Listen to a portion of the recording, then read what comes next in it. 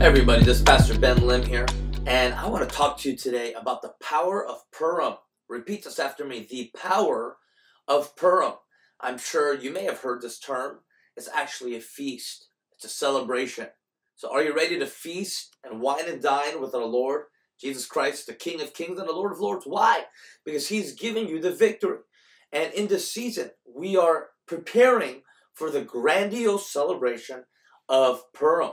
But why shall we celebrate, you may ask? Because this commemorates what God did amongst the Jewish people. Remember this whenever people antagonize you, come against you, accuse you, try to annihilate the Judeo Christian people of God, then God will overturn and reverse all of those attacks.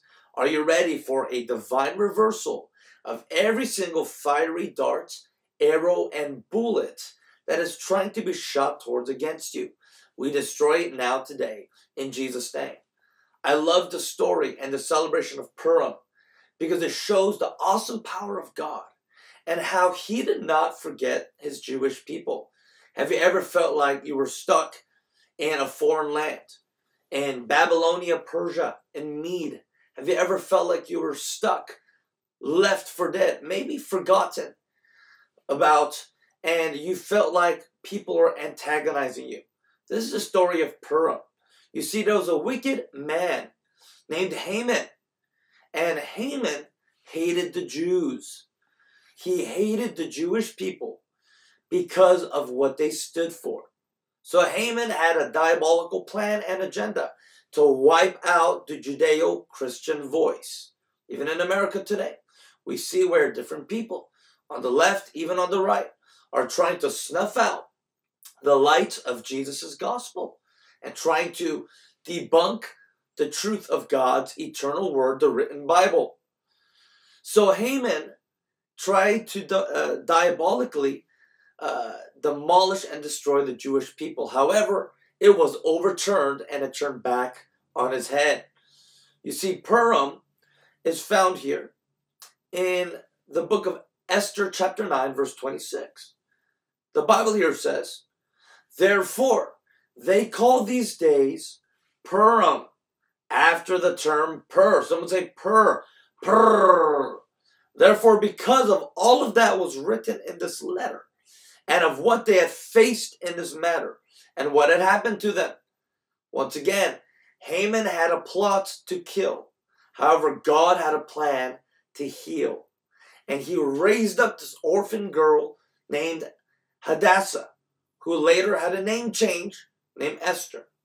And Esther had a three day fast. And through the fast, there was an exposure of Haman's plots against the Jews, and it was overturned on his head.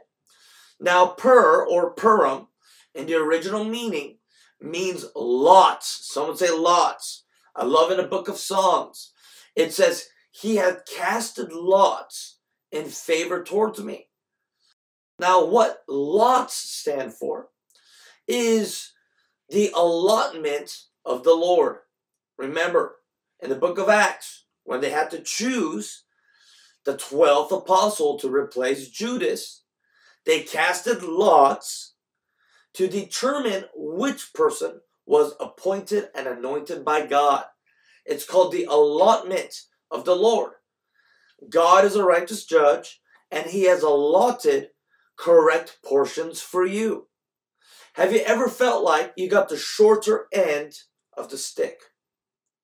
Have you ever felt like you got the worst piece of the chicken? Have you ever felt like you've received the smallest piece of the pie? That is called an allotment. And some of you have been dealt wrong purse or wrong allotments. Some of you have been dealt some unfair cards from the deck of cards. However, in this season, God is releasing the power of Purim to reverse the curse, to change your allotments. And He is about to release unto you what is rightfully deserving towards you. That's called favor. That's called the graces of God. And of course, Esther fasted and everything was overturned. the false decrees that was spoken against the Jews, the false laws, the false agendas, the things that were enacted against them was now overturned. The decree of the king was overturned, and the king was forced to decree a good word about the Jewish people. Purim is a time of celebration. It's a time of remembrance and commemoration where they celebrate by feasting and wining and dining, thanking God for the hand of deliverance that delivered the Jews from the wicked spirit of Haman and delivered the Jews and caused them to plunder their enemies and honor. Are you ready for double honor in this season? People of God, this month of February, as we're about to transition into Adar, the Hebrew month of Adar, it is the season of Purim, where this very thing happened years ago. Are you ready for the Esther fast? Are you ready for Mordecai's honor? Are you ready for the power of Purim, the right allotments to come towards you? Are you ready for the Haman spirit to be boomeranged back on his own head? God is your defender. He is just and he is righteous.